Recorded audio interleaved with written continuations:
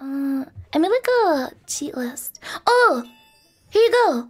Uh, duh, a controller, so I can play uh, so I can play games and not look like, you know, not like I'm playing with my mind.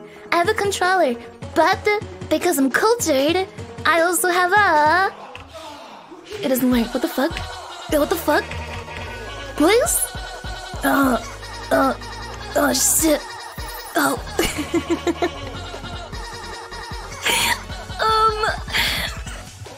Oh, there you go. Wait. I have a Xbox controller too, because I am a gamer. Mm-hmm.